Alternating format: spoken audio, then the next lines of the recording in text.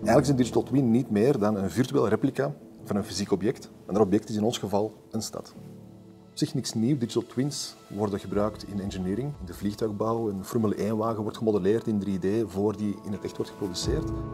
Dus hier hebben we de digital twin van uh, de stad Antwerpen, digital twin, digitaal tweeling, een virtuele replica van een fysiek object. Voor ons object een ganse stad. Dus we hebben Antwerpen gekozen. Hier zien we de Schelde en de Antwerpse ring. We focussen ons vooral op de, op de binnenstad. Een digital twin bouwen is zeer complex en vereist veel domeinkennis. Dat doen we niet alleen. Dus zijn we gepartnerd met een aantal bedrijven, zoals TomTom bijvoorbeeld, voor de 3D-modellen van de binnenstad, de Vlaamse overheid voor het basisverkeersmodel, uh, PTV voor de verkeersmodellering en TNO voor de luchtkwaliteit en geluidsoverlastmodellering. Een digital twin is een plek waar een aantal dingen samen worden gebracht. Dat is real-time data, real-time inzichten, maar ook voorspellende data. Zo focussen in dit geval op het effect van mobiliteit op geluidsoverlast en luchtkwaliteit. Hier zien we verkeerscapaciteit in functie van eh, aantal rijwegen en snelheden. Een intensiteit die wordt ingenomen van die capaciteit. En die wordt gevoed door een aantal real-time bronnen, zoals bijvoorbeeld de Tellussen op de Antwerpse ring. Die worden elke minuut geüpdate door de Vlaamse overheid en zien we hoeveel trucks, cars en vans er passeren en zo een belading geven van het verkeersmodel in de binnenstad. En nu kunnen we zien wat de impact is van het verkeersmodel op zaken zoals luchtkwaliteit, in dit geval stikstofdioxide, of geluidsoverlast, veroorzaakt door het verkeer op de ring en op de aansluitende snelwegen, en ook uiteraard de binnenstad. Kijken we even naar luchtkwaliteit, dan zien we stikstofdioxide. Dat is gemodelleerd op basis van de verkeersdata. We hebben ook real-time data. Die wordt gemeten in Antwerpen via busjes van uh, Bpost. We hebben een project lopen om eigenlijk heel fijnmazige luchtkwaliteitsmetingen uit te voeren.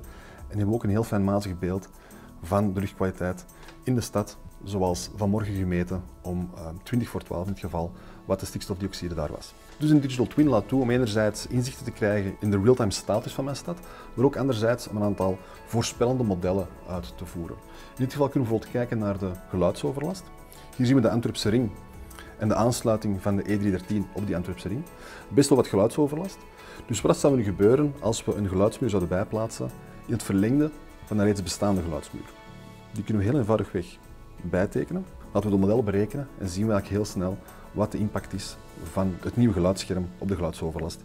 En zo, hier zien we dit. En dus een tool zoals dit laat ook toe om beleidsoverschrijdend uh, of domeinoverschrijdende voorspellende studies te maken en een aantal what-if scenario's uit te voeren om eigenlijk de stad als snelle prototype omgeving te gaan behandelen en zien welke ingrepen welke effecten zouden kunnen hebben. De Digital Twin van Antwerpen is nog een prototype, is een inspiratie van wat er mogelijk zal zijn in de toekomst en is vandaag nog niet in operationeel gebruik. Wij zien de rol van IMEC binnen Digital Twin als een overkoepelend platform dat toelaat om heel eenvoudig en op een semantisch juiste manier data te kunnen onboarden. Er is absoluut interesse vanuit andere steden, zowel in Vlaanderen als België als internationaal, om dit concept te adopteren. Dit zien we als de toekomst van wat wij noemen evidence-based, bewijsgebaseerde of modelgebaseerde beleidsvorming. De rol van Microsoft zien wij absoluut eh, tweeledig. Enerzijds als technologieblatform. We hebben vandaag een uitdaging naar schaal. Daar biedt een platform als Azure natuurlijk een oplossing voor, maar ook de diensten bovenop Azure, zoals Azure Digital Twins. Maar anderzijds natuurlijk een partner als Microsoft biedt ons ook schaalvoordeel in de markt. Vandaag voeren we heel veel evangelie in de markt om die markt een stuk uh, te tonen wat we kunnen doen in de toekomst. En daar is Microsoft ook absoluut een uh, katalysator voor, voor ons.